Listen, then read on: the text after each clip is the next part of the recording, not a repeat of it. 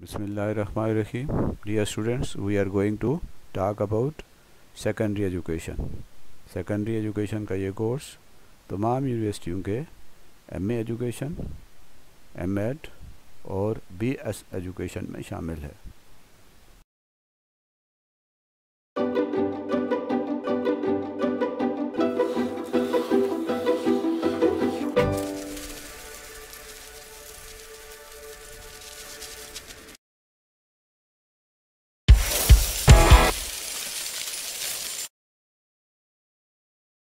बात करते हैं कि सानवी तालीम की अहमियत क्या है? यानी सानवी तालीम क्यों अहम है? इसकी क्या इम्पोर्टेंस है? इसकी क्या सिग्निफिकेंस है?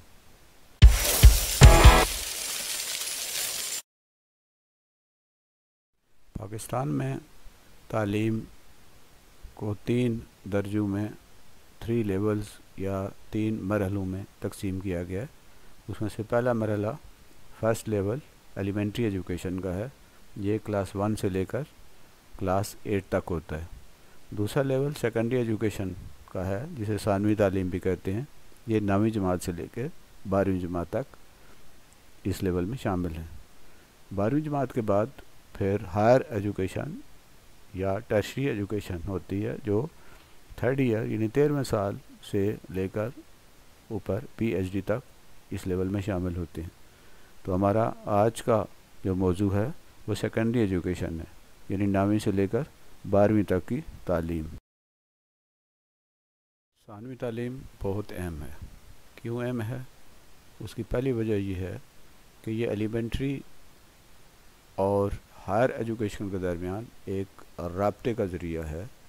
It is link between elementary and higher education यानी एलिमेंट्री एजुकेशन पहली से आठवीं तक या तालीम मुकम्मल करता है कोई स्टूडेंट तो उसने जब हायर एजुकेशन में जाना होता है तो सेकेंडरी एजुकेशन एक पुल का काम करती है, एक लिंक का काम करती है, जो एलिमेंट्री एजुकेशन को और हायर एजुकेशन को आपस में जोड़ती है।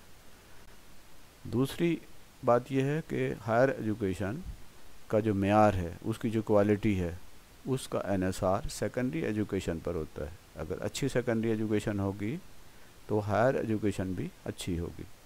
तीसरी और अहम बात वो ये है कि ये प्रोफेशनल और वोकेशनल एजुकेशन यानी पेशा वाराना और फ़नी तालीम जो किसी भी इंसान ने आगे जाकर अपनानी होती है, उसके लिए ये तैयार करती है, ये बुनियाद फ्राहम करती है प्रोफेशनल और वोकेशनल एजुकेशन के लिए। नंबर फोर ये मेंडल जो लेवल की वर्क फोर्स है, उसको ये तैयार करती है, यानी ऐसे बच्चे, ऐसे स्टूडेंट्स जो सेकेंडरी एजुकेशन मुकम्मल करने के बाद मज़ीद तालीम जारी नहीं रख सकते, वो किसी न किसी काम में चले जाते हैं, कोई ना कोई काम शुरू करते हैं। इस तरह ये एक मेडल लेवल जो वर्क फोर्स है, काम करने वाले लोग हैं, वो सेकेंड एजुकेशन से तैयार होते हैं और किसी भी माशरे में मेडल लेवल वर्क फोर्स जो है वो बहुत ज़्यादा तादाद में चाहिए होती है। तो ज़ाहिर है कि ये सेकेंडरी एजुकेशन ही इस मेडल लेवल वर्क फोर्स को तैयार करती है। सेकेंडरी एजुकेशन की अहमियत इस लिहाज से भी है कि ये अडल्टहुड यानी बलोगत के लिए बुनियाद फ्राहम करती है। बच्चे इस उम्र से गुज़र के बालग हो रहे होते हैं तो उनकी बहुत सी ऐसी ज़रूरियात होती हैं जिनके लिए एक बुनियाद की ज़रूरत होती है। तो सेकेंडरी एजुकेशन इस काबिल होती है और इस काबिल होनी चाहिए कि उन्हें उस अडल्टहुड के लिए तैयार करे। नंबर छः ये स्टूडेंट्स की मदद करती है कि वो जो ट्रांजिशनल एज है, यानी वो बचपन से गुज़र के जवानी की तरफ़ जा रहे होते हैं तो ये एक ऐसी स्टेज होती है जिसमें ट्रांजिशन हो रही होती है, उनकी अंदर तब्दीलियाँ आ रही होती हैं। तो उसके चैलेंजेस को पूरा करने के लिए ये तालीम एक अहम करदार अदा करती है और इसे करना चाहिए। ये टीन एजर जो हैं उनको जॉब मार्केट के लिए तैयार करती है। वो बच्चे जो टीन एज में होते हैं, यानी ये ग्यारह, बारह, तेरह, चौदह, पंद्रह साल के बच्चे जो हैं, उनको जॉब मार्केट के लिए तैयार करती है ताकि वह अठारह साल की उम्र के बाद अगर कोई काम करना चाहें तो वो इस काबिल हो सकें कि वो कोई ना कोई काम कर सकें।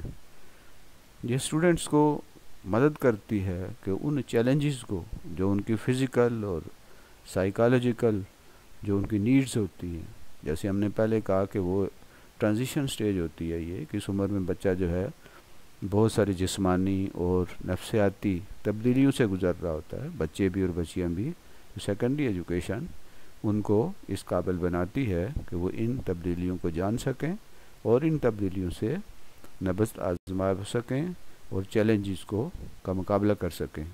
एक अच्छी जो सेकेंडरी एजुकेशन है, वो बच्चों को इस काबिल बनाती है कि वो इन तमाम किस्म के जो चैलेंजेस हैं, उनको वो अच्छे तरीके से फेस कर सकें और उनके लिए तैयार हो सकें। अब हम सानवी तालीम के मकासद के बारे में बात करते हैं, यानी ऑब्जेक्टिव्स ऑफ़ सेकेंडरी एजुकेशन के इसके क्या मकासद हैं? ये सानवी तालीम जो है, ये सेकेंडरी एजुकेशन क्यों दी जाती है?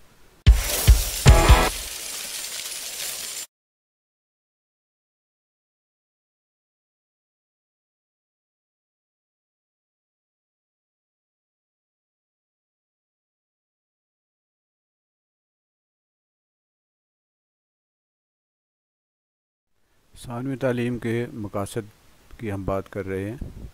इससे पहले हम बात कर चुके हैं। सानवी तालीम का एक मकसद ये भी है कि वो स्टूडेंट को इस काबिल बना सके कि वो अपने माहौल को और अपनी कम्युनिटी को, अपने माशरे को, अपने इर्द गिर्द रहने वाले लोगों को और अपने इर्द गिर्द के माहौल को समझ सकें और उससे फ़ायदा उठा सकें। फिर सानवी तालीम बच्चों को इस काबिल भी बनाती है कि वो काम के लिए तैयार हो सके, कि वो कोई काम कर सकें, वो अपने घर के काम कर सकें, वो अपनी ज़िंदगी के जो मामूलात हैं, उनमें जो काम जिन जिन कामों की ज़रूरत पड़ती है, उन कामों के लिए उनको तैयार किया जा सके।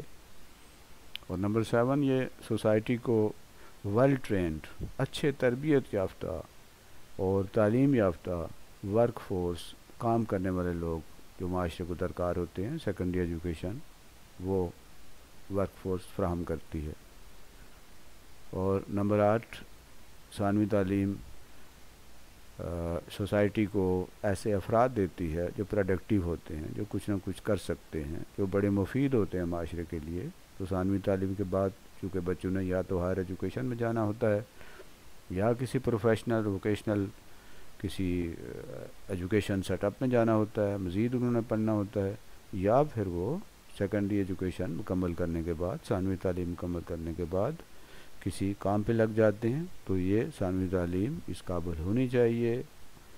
और ये इस काबिल होती है कि उन स्टूडेंट्स को इस काम के लिए और माशरे का मुफीद रुकन बनने के लिए और एक मुफीद शहरी बनने के लिए, एक अच्छा शहरी बनने के लिए तैयार करे।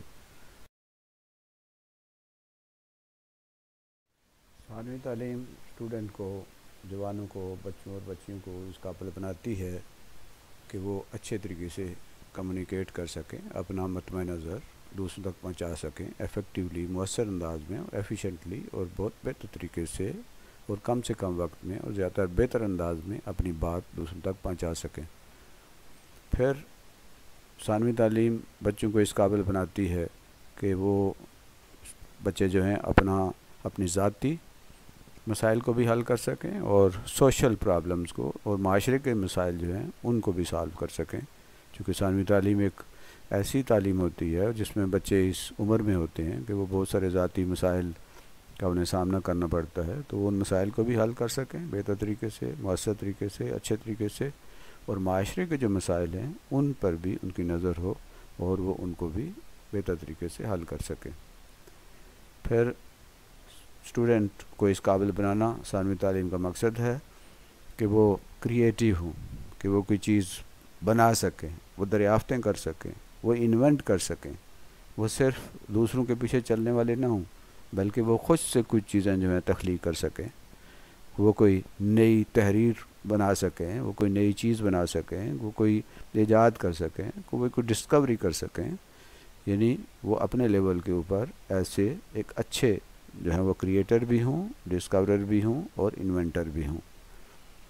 फिर सानवी तालीम का मकसद ये भी है कि वो स्टूडेंट को कॉन्फिडेंट बनाए, ख़ुद अतमाल बनाए सेल्फ रिलायंस यानी अपने ऊपर अपनी जो ख़ुद अनसारी है, इस काबिल बनाएँ कि वो स्टूडेंट दूसरों के दस्त नगर ना हो, दूसरों के मोहताज ना हो, बल्कि वो ख़ुद अपने पाँव पर खड़े हो सकें, ख़ुद अपने काम कर सकें और फिर वह करेजियस हों, बाहिम्मत हों, हौसलामंद हों और बहादरी के साथ, हिम्मत के साथ जो हैं वो मसाइल का सामना कर सकें और अपने मसाइल को हल कर सकें और बेहतर से बेहतर अपने उन मामला को अच्छे तरीके से चला सकें। यानी उनको कॉन्फिडेंट बनाना, ख़ुद अतमादी उनके अंदर पैदा करना, उनके अंदर खुद एनसारी पैदा करना और उनके अंदर हिम्मत और ज़रूरत पैदा करना, ये सानवी तालीम का एक बड़ा मकसद है।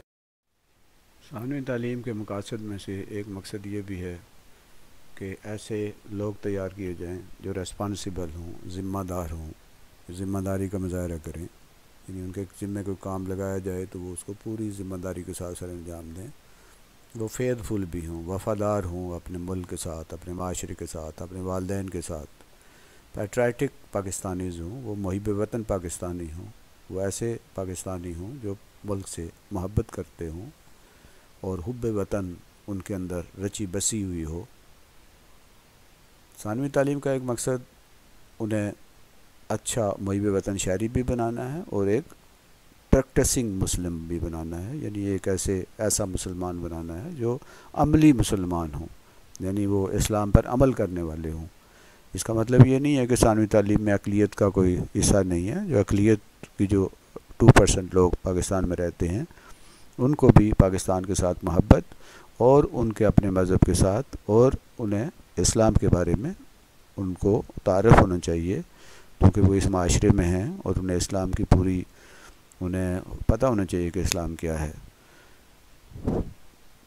सानवी तालीम का एक मकसद रेलिवेंट और अप टू डेट और वैलिड नॉलेज स्टूडेंट को मुहैया करना है, यानी रेलिवेंट नॉलेज जो उनकी उम्र के लिहाज से, उनकी ज़रूरियात के लिहाज से, उनकी नफसियाती जो जिस मरल से गुज़र रहे होते हैं, उसको सामने रखते हुए और जदीद जो इल्म है, यानी जो आज दुनिया के अंदर जो कुछ हो रहा है, जो ईजादात हो रही हैं, जो नया नया, नए नए ूम जो हैं दरियाफ्त हो रहे हैं, नई नई ईजादें आ रही हैं, और फिर वो वैलिड नॉलेज हो, यानी एक ऐसा नॉलेज हो जो वैलिड हो, जो सही हो, जो मैज़ हदशात पे और महज गलत फहमियों पे मबनी ना हो, बल्कि एक वैलिड नॉलेज हो, एक ऐसा नॉलेज हो, जो जिसको आजमाया गया हो, जिसको साबित शुदा इल्म हो, ये सिर्फ़ सुनी सुनाई बातें ना हों। सानवी तालीम का एक मकसद ये भी है कि जो स्टूडेंट हैं, वो अप्रिशिएट कर सकें अपनी नेशनलिटी को, यानी उन्हें इस बात पे फ़ख्र हो, वो प्राउड पाकिस्तानी हो। उन्हें इस बारे में यह एहसास हो और उसको अप्रिशिएट करते हों और वो तारीफ़ करते हों कि हम पाकिस्तानी हैं और पाकिस्तानी होने पर उन्हें फ़ख्र महसूस हो। वो तभी फ़ख्र महसूस हो सकता है जब पाकिस्तान के बारे में उनके पास मुकम्मल मालूम हों। पाकिस्तान के जोग्राफ़ी के बारे में, पाकिस्तान की तारीख़ के बारे में, पाकिस्तान की तहरीक के बारे में, पाकिस्तान के नज़रिए के बारे में, ये सब कुछ उन्हें मालूम होगा तो फिर वो सही, सच्चे और पक्के पाकिस्तानी कौम के फ़र्द बन सकेंगे। तो सानवी तालीम के बारे में हमने उसके मकासद के बारे में बात की है कि ये एक बहुत ही अहम, जितने भी तालीम के मराइल हैं, उनमें सबसे अहम और सबसे ज़रूरी सानवी तालीम है।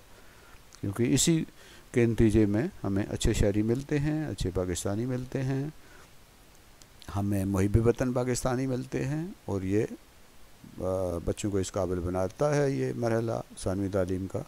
कि वो माशरे के मुफीद रुकन बन सकें, वो अच्छे शहरी बन सकें, वो माशरे के मसाइल को हल कर सकें, वो उनके अंदर इतिहाद भी हो, वो अच्छे पाकिस्तानी भी हों, अच्छे मुसलमान भी हों तो सानवी तालीम बहुत ही अहम मरला है और हमें इस पर पूरी तवज्जो देनी चाहिए। इस होने की हैसियत से बीइंग टीचर हमें सानवी तालीम जो है उसको अहमियत देते हुए ये ख्याल रखना चाहिए कि हमारे सामने जो बच्चे बैठे हुए हैं वो इस वो हमारी बहुत बड़ी ज़िम्मेदारी है और हमें इस ज़िम्मेदारी से पूरी तरह नबज आज़मा होना है। हमें इस इस ज़िम्मेदारी को पूरा करना है और हमने एक अच्छा उस्ताद बनकर, एक अच्छा पाकिस्तानी अच्छा मुसलमान बच्चा जो है वो नौजवान तैयार करना है। अल्लाह हाफिज़। अल्लाह हाफिज़। आप इस चैनल को ज़रूर लाइक करें ताकि इस तरह की मज़ीद वीडियो आप तक पहुँच सकें। अल्लाह हाफिज़।